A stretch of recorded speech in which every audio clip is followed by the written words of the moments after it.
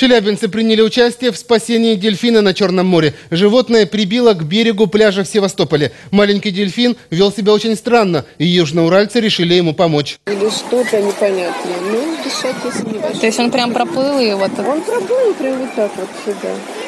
ясно. С кровоподтеки под глазами. Может, что-то с ним Не случилось? под глазами, а на глазных На глазах? яблоках прямо. То есть не вместо белков красные, на обеих причем. На этих кадрах видно, как толпа людей окружила маленького дельфина. Как говорят очевидцы, он приплыл с глубины. Людей не боялся и явно выглядел болезненно.